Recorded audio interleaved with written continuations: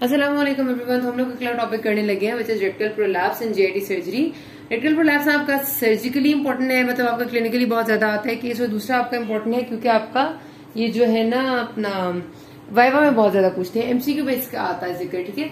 कुछ इसके surgical procedures हैं जिनका आपको थोड़ा थोड़ा सा आइडिया होना ज़रूरी है। कुछ चीज़ों में सर्जरी में है सर्जिकल प्रोसीजर्स तो कुछ का आइडिया होना ज़्यादा ज़रूरी है जिसमें से एक ही तो कुछ सिलसिला ऐसा है कि आपके पास रेक्टम और रेनल के नाल आपको होता है कि आपका बिल्कुल एंड एंड वाला पोर्शन होता है जीआईटी का। एनल केनाल आपकी होती है ऑलमोस्ट कह लें आप three two four centimetre in length और आपका रेक्टम होता है almost fifteen centimetre in length ठीक है? उसके बाद हमारे पास ये जो, अगर ऐसा हो कि आपका जो रेक्टम का, पूरा का पूरा रेक्टम है, आपका लाइक म्यूकोजा सब म्यूकोजा ये सारा का सारा आपका बल्ज करके बाहर आ जाए आपकी एनल वर्ज से, ऐसे करके, ठीक है? हो जाता है। और वो बाहर आपको इतना बड़ा करके रेड कलर की आउट पाउचिंग सी बन के पूरी इतना बड़ा गोला बाहर आ जाए फ्रॉम इनल वर्ज उसको आप कहते हैं rectal prolapse rectal prolapse is basically कि म्यूकस मेम्ब्रेन या और सब mucosa of the rectum protrude out from the anus ठीक है?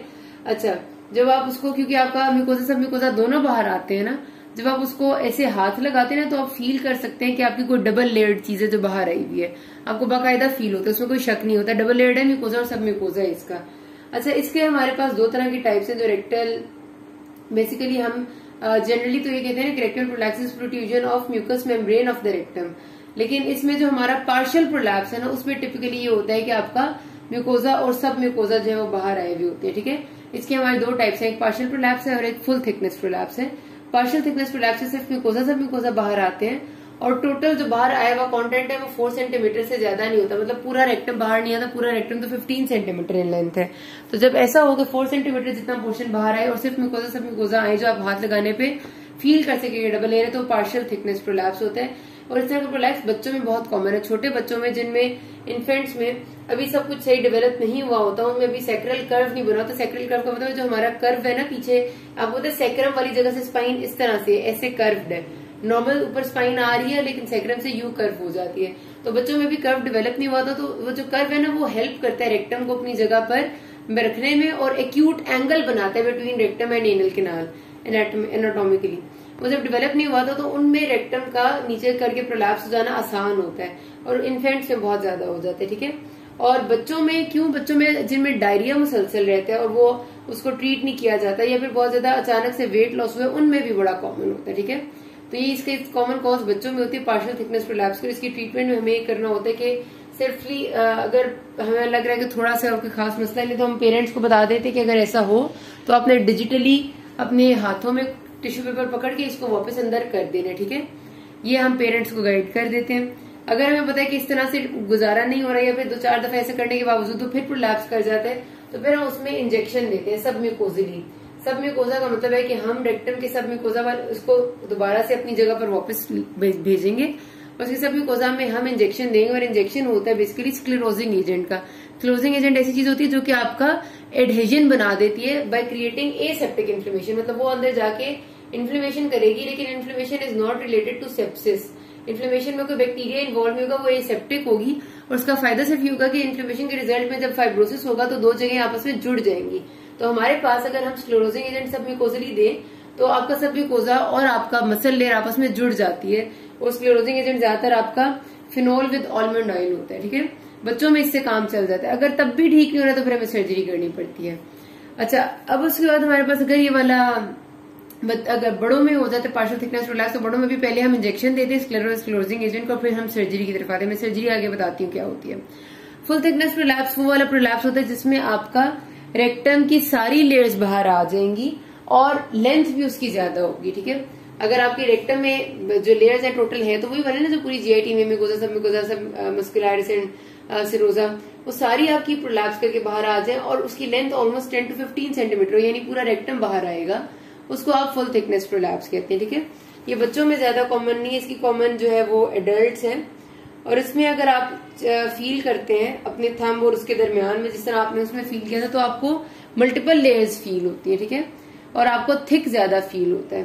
तो इसलिए आपको बड़ा आराम से पता चल जाता है कि यार फुल थिकनेस प्रोलैप्स है। अब इसमें और इंटरसेप्शन में डिफरेंस करने का क्या तरीका है? इंटरसेप्शन का मतलब कहता है एक सेगमेंट दूसरे सेगमेंट के अंदर टेलीस्कोप हो गया। तो आप खुद सोचें कि मेरा इंटरसेप्शन में सपोज़ मेरा एक ये लूप ऑफ़ बाबल है, और मेरा ये लूप ऑफ़ बाबल नॉर्मली होता है कि इसके अंदर घुस जाते हैं। सपोज़ करें कैसे अंदर घुस के एक दूसरे के अंदर। एक दूसरे के अंदर ये घुस गए हैं, लेकिन इनके दरमियान में अगर मैं उंगली डालना चाहूँ मतलब ये वाली जो जगह है, ठीक है, ये दोनों एक दूसरे के अंदर ऐसे घुसे हुए हैं, लेकिन इनके दरमियान में जो जगह यहाँ मैं उंगली डालना चाहूँ तो डल जानी चाहिए ना, क्योंकि ज़ाहिर है ये सारी वॉल तो नरम है, सख्त तो कुछ भी नहीं है तो ऐसे ही होता है। इंटरसेप्शन में आप क्या करते हैं कि आप उंगली डाल के देखते हैं, वो आपकी दो वॉल्स के दरमियान में डल जाती है, लेकिन रेटिनल प्रोलैप्स में ऐसा कुछ नहीं होता क्योंकि कोई चीज़ इंटरसेप्शन नहीं की होती, किसी चीज़ ने दूसरे में टेलीस्कोप नहीं किया होता, पूरा रेक्टम बाहर आ जाता तो ये चीज़ आपको डिफ्रेंशिएट कर देती है कि इंटरसेप्शन है या फिर आपका ये रेक्टल प्रोलैप्स है। फिर इसमें आपका आ, होता क्यों है? फुल थिकनेस प्रोलैप्स बच्चों में तो ये कॉमन नहीं है ये ज़्यादातर ओल्ड एज में कॉमन है। सबसे ज़्यादा कॉमन होता है फीमेल्स में जो पोस्ट पार्टम होती है post pregnancy pressure of pregnancy की वजह से कॉन्स्टिपेशन की वजह से ठीक है? और उसके अलावा फिर कुछ मेडिकेशन एंटीसाइकोटिक उनकी वजह से हो जाते हैं। अब ट्रीटमेंट जो फुल थिकनेस रिलैप्स की है ना वो सर्जरी है। इसमें आपका सिर्फ़ इंजेक्शन कुछ नहीं करता। उसमें पहले दो तरह से हम जा सकते हैं। या तो हम पेरिनियल रीजन से सर्जरी करते हैं या लंबर रीजन से यानी पेट से करते हैं। एब्डोमिनल रीजन से बेसिकली उसकी सर्जिकल अप्रोच लंबर नहीं गलत लिखा हुआ एब्डोमिनल अप्रोच होती है। उसमें जो पेरिनियल रीजन से होती है, उसमें सबसे पहले पुराने जमाने में क्या करते थे कि आप ना उसको वापस भेज के अपनी जगह पर मतलब आप उसको डिजिटली वापस करते हैं रेक्टम को, और उसके बाद आप एनल किनाल के गिर्द स्टिचेस लगा देते हैं, ऐसे गोल दायरे में, ठीक है, जो एनल वर्ज है उसके गिर्द, बाहर की तरफ़ से। उसकी वजह ये होती है कि ना एनल वर्ज खुले सही तरह से, और ना दोबारा रेक्टम बाहर आए। तो हम ये इस, इस टेक्निक को जहन में रखते हुए यू स्टिचेस लगाते हैं उनको थाइड स्टिचेस कहते हैं। लेकिन उसकी वजह से एनल स्टिनोसिस होने का खतरा बहुत ज़्यादा होता था क्योंकि आपका एनल किनाल को गिर्द जब आपने एक सूचर्स लगा दिए सख्त किस्म के सूचर्स लगा दिए तो आपका स्टूल पास करने में डिफिकल्टी हो जाएगी एनल किनाल नैरो हो जाएगी।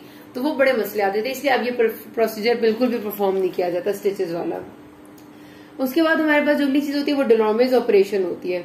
इसमें हमने क्या करना होता है कि हम ये करते हैं कि हम म्यूकोजा को एक्सरसाइज करते हैं, जो आपका रेक्टम सारा बाहर आया हुआ है, उसके म्यूकोजा को एक्सरसाइज करते हैं, उसको वापस लेके जाते हैं उसको अंदर जाके मस्कुलरिस लेयर के साथ दोबारा स्टिचेस लगाते हैं। ठीक है? तो ये भी एक तरीका है, लेकिन ये भी ज़्यादा परफॉर्म नहीं किया जाता।